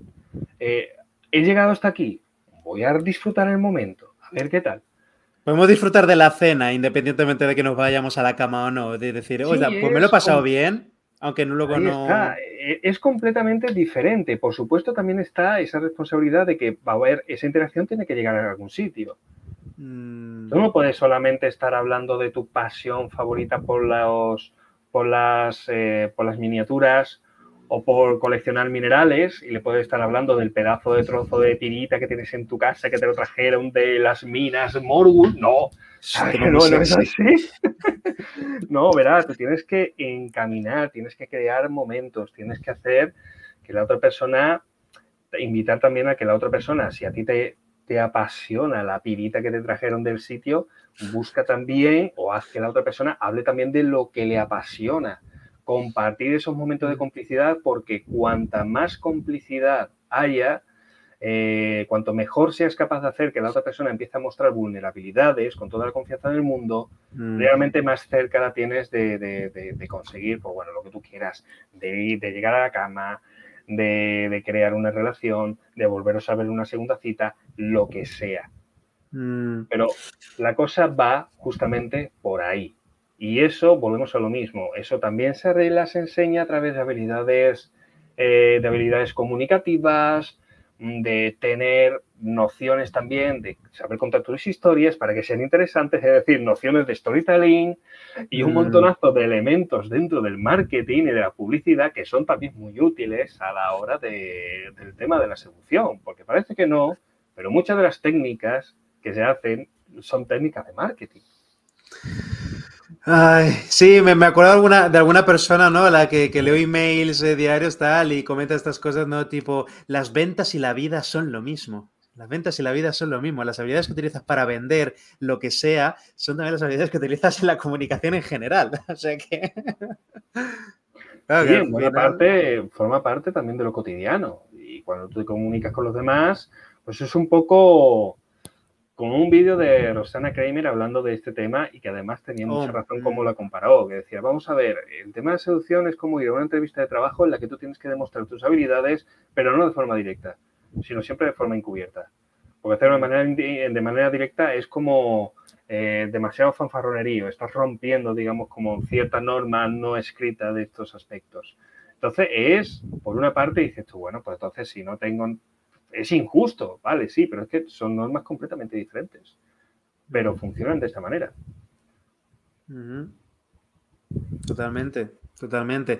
Me gusta esa parte también, eh, comentabas, claro, es eh, storytelling, etcétera, etcétera, ¿no? Eh, que la, intenta que la otra persona se implique, también se implique en la conversación, que eso también me ha recordado un poco ese, vale, eh, busca maneras en las que tú también definirte y, describirte, mostrarte, muestra tus distinciones de esto me gusta, esto no me gusta, pero también crea un espacio para que la otra persona también pueda hacer eso. La otra persona también pueda definirse, pueda compartir, pueda, pueda compartir, sentirse lo suficientemente cómoda como para eh, compartir vulnerabilidades, etcétera, etcétera, ¿no? Una, cosa pues más, más, íntima, ¿no? Crear ese espacio de intimidad y entonces en ese espacio pues ya pueden ocurrir también un montón de cosas si conseguís eh, crear ese espacio. Eso sí, y aprovecha, también la, y aprovecha también las situaciones. Eh, por ejemplo, me acuerdo que hace unos meses, pues conociendo a una chica, eh, tuve la suerte de que era una chica que le gustaba mucho el tema de, no voy a decir narrativa, pero que era tan cotilla como yo. Entonces establecimos como un juego, ¿vale? Establecimos un juego en el cual yo le contaba a lo mejor una anécdota, una anécdota de la semana o una anécdota del día o en general algo que me había pasado y ella pues también contestaba con lo mismo. Y parece que no, pero establecer ese tipo de juegos también es muy importante porque es un toma y daca constante, ¿vale? Tú mandas sobre tal, tú recibes sobre tal, yo evoluciono en el juego y ahora elijo el tema del que quiero que tú me hables, ahora tú me das a elegir también de otros tantos temas, podemos seguir avanzando e ir buscando otros temas más calientes para ir redirigiéndolo, como hemos dicho, también la interacción, y así va desarrollando. No, por echarme flores tampoco, pero de esto es que tengo también un anecdotario muy, muy amplio. una, vez termina ligando usando metáforas de, ecuaciones. Cada roto tiene su descosido, como quien dice. Y la, chica era ingeniera. fuiste por el nicho, claro, fuiste por el nicho. Adaptaste. no tengo ni puñetera idea de matemáticas. tengo ni puñetera idea de matemáticas, solamente utilizaba un poco también el lenguaje que iba utilizando ella. Y no sé, en aquel momento, digamos, estaba un poquito out todavía de todos estos temas, pero tengo que agradecer que tuve como la suficiente agilidad mental como para reinterpretar a nivel poético todo lo que me estaba diciendo justamente a través de las metáforas de, ecuaciones que me estaba diciendo. Es decir, situaciones, es que situaciones pueden ser infinitas. Al final te vas a tener que adaptar. Y esto se trata también mucho de la capacidad de versatilidad que tengas. Pero si tú consigues marcar un buen marco de inicio, si te sientes lo suficientemente seguro de ti mismo como para no estar a expensas de querer eh, satisfacer a la otra persona, ¿vale? Constantemente. Buscando demasiada, o dependiendo demasiado de la validación, etcétera. Mm. Y haces que la comunicación, que esta es la parte más difícil quizás, haces que la comunicación sea fluida, pero mm, sin caer en el mito de dejarse llevar y todo eso, eh, te puede salir una cita, la verdad que bastante resultona y con bastantes posibilidades de, que tengáis un segundo encuentro. Otra característica también, como he dicho y he remarcado varias veces, que así parece un poquito subterfugio, pero es muy importante, reencamina bien la conversación. Porque está muy bien de que tú quieras tener información de la otra persona y que te diga a qué se dedica y que te cuente sus gustos y tal, pero de vez en cuando debes dar el toque para volver al tema puramente sexual que os, ha llevado allí, ¿vale? Y hablar a lo mejor de vuestras relaciones anteriores, o hablar de qué te gusta, o hablar de cuáles son tus sitios favoritos, qué te hace vibrar. Una pregunta que es muy poderosa y que además lo aprendí del propio Mario Luna, que justamente decir, vale, sí, mm, ya me has dicho que te gusta y te me has dicho que no me te gusta, pero a ver, cuéntame de verdad, ¿qué te hace vibrar? Que es un significado muy vacío, pero que tiene además una connotación muy poderosa. Deja que la otra persona ya rellene con lo que ellos quieran. Claro, a ti que te mola mucho, dímelo, vamos a hablar de ello y vamos a ver hacia dónde vamos con eso. No, con vibrar no tiene por qué estar eh, exclusivamente en el elemento sexual, es ¿qué te hace vibrar? Es, te estoy invitando para que, te apasiona. que hables efectivamente de lo que te apasiona, de lo que te inspira, de lo que te motiva, de tal. Me puedes hablar a lo mejor de un viaje que hiciste o un viaje que quieres hacer o de un sitio de ensueño, de una actividad de ensueño, de una, de, una inquietud, de un deseo, de un algo, da igual. Pero es una invitación justamente a, abrir las puertas de la propia intimidad y empezar a buscar ese momento de, complicidad de que estábamos hablando antes. Complicidad, complicidad qué bueno. Y además, mira, la gente se va con, eh, consejos bastante específicos, ¿no? Para ir haciendo experimentos en sus citas, etcétera, Consejos específicos no son tantos, son directrices. más directrices. Mm. Sí, porque volvemos a lo mismo. Un, consejo específico es eh, lo clásico, es decir, ¿quieres que, que ella vaya detrás tuya? O deja de hablarle.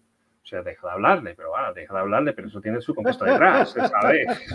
si la dejas de hablar, pues, pues, está claro que la tipa no te va a hablar, sobre todo si, si estás empezando a conocer lo que sea. O como mencionaba antes, que, ¿quieres atraer a las tipas? Pues trátalas mal. Compórtate como un capullo con ella. ¿Qué es lo que les gusta? Que les mola a los tíos malos, les mola tal. Pues igual a las espantas porque igual piensan que eres gilipollas. simplemente. Es así. Ah. Qué buena. Pero sí hay una atracción que está, que está directamente relacionada además con eso, con el tema de los chicos malos. ¿Por qué a las mujeres les gustan los chicos malos? Vamos a ver. Hay un factor común que sí le gustan a todas las mujeres, que son las demostraciones de poder y las demostraciones de fuerza y las, demostraciones de, de competencia. Y les da igual que sea por el lado bueno o por el lado malo de la historia. Por lo cual van a sentir la misma atracción por el chico malo que lo pueden saber, que lo pueden hacer por el chico bueno. Siempre y cuando el chico bueno haya demostrado eso, poder, fuerza y, competencia. Seguridad, confianza, bla, bla. Mm. De hecho, hay una frase muy buena de Jordan Peterson que dice, vamos a ver, lo atractivo eh, del hombre no es que sea bueno en el sentido de inofensivo, sino que todo, todo lo contrario, sino que sea muy consciente del peligro que conlleva, pero que aún así decide no hacer ese mal, decide no hacer ese daño. Porque denota ah. justamente todo ese control sobre sí mismo y una decisión personal que en sí mismo es fuerte. Por lo cual sigues eh. demostrando justamente todas esas cualidades. Demuestras poder, demuestras fuerza y demuestras también esa competencia. Justamente la competencia está en esa decisión personal.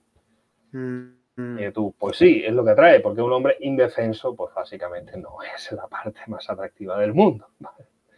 Pero funciona así, básicamente, funciona así. Y que hay muchas maneras de demostrar esa seguridad, ¿no? Como has comentado, ¿no? Hay, maneras más efectivas o menos efectivas según eh, la persona que tengas delante, según la cultura, etcétera, etcétera, pero al final sí que es verdad que bueno, claro, en mostrar eh, cierto tipo de confianza en según qué formas, pues eso, todo eso va a ayudar, todo eso va a ayudar.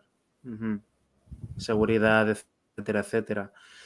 Ok, ok, pues Álvaro, te he tenido secuestrado durante una horita y media, una horita y media. ¿Hay eh, alguna... Ha estado de puta madre, a mí me ha encantado. ¿Hay alguna cosa que te gustaría eh, poner como para eh, terminar la punzada, etcétera, para concluir algo que se te haya quedado en el tintero y que te gustaría eh, comentar ahora antes de ir cerrando? La verdad es que pues ahora mismo no sabría. Me quedaría justamente con ese resumen tan grande que hicimos antes de, principios, a lo mejor para empezar la seducción o la cita. Es decir, hablar de ese marco psicológico, de cómo se trabaja la comunicación, de cómo se redirige la interacción y sobre todo también el tema de cómo trabajar la seguridad. Yo dejaría como esos marcos como cosas reseñables, como digamos el ABC de cómo funciona todo esto. Y ya lo siguiente es un poco como no tomártelo del todo, del todo en serio. Porque aunque hayamos hablado también aquí de reminiscencias biológicas, eh, también comportamientos culturales y todo eso, el tema de los púas, el tema de la seducción y todo eso, aunque intentemos buscarle como que hay mucha ciencia, no es tanto ciencia, es arte sobre todo. Y el arte tiene la cosa de que aunque tenga sus técnicas enteras, los cuadros o la música o las obras de arte que siempre están detrás no siempre, no siempre triunfan, aunque estén magníficamente trabajadas. Entonces, cuestión de siempre ir probando y desarrollando e ir terminando haciendo tuyo, sobre todo eso, haciendo tuyo justamente aquellas cosas que más te funcionan. Porque al final, como antes estaba diciendo, el tema de las ventas y la vida es lo mismo, porque una cosa lleva a la otra. Pues con esto es lo mismo, es decir, aquello que te desarrolla más en cuanto a tus interacciones eh, personales con la gente del otro sexo o del mismo sexo, según lo que te interese y lo que te atraiga, también termina repercutiendo sobre, sobre otros aspectos de tu vida muy importantes. Las cosas están, están encadenadas de alguna manera, están unidas, forman vínculos. Así que lo que te puede servir para una cosa, perfectamente la puedes extrapolar para otras tantas. Maravilloso, maravilloso. Pues nada, muchísimas gracias Álvaro. Un placer eh, tenerte por segunda vez eh, aquí en el canal. Eh, la charla ha sido interesantísima, interesantísima. Además mola porque tú hablas y hablas y es, es que ya sabes lo que tienes que aportar. Claro, efectivamente, sé que no te que hacer preguntas. Así, es que hemos fluido, lo ves, hemos fluido. Hemos fluido. Y la, magia, y, la magia pues, pues surge. Pues nada, y muchas gracias también a todas las personas que se han quedado hasta el final para ver o escuchar esta charlita. Muchas gracias. Eh, suscribíos, ¿vale? Pasaos también por el canal de, Álvaro, Psicoblog, con V. Eh, es difícil que no os hayáis encontrado con algún vídeo suyo si veis cosas de psicología por YouTube, pero por si acaso, eh, echadle un vistacito etcétera, etcétera. Y sobre todo por el tema de seducción, tiene bastantes más vídeos eh, sobre el tema si queréis ir profundizando, etcétera, etcétera. De que nada, muchas gracias a todos y a descansar. Chao, chao, chao.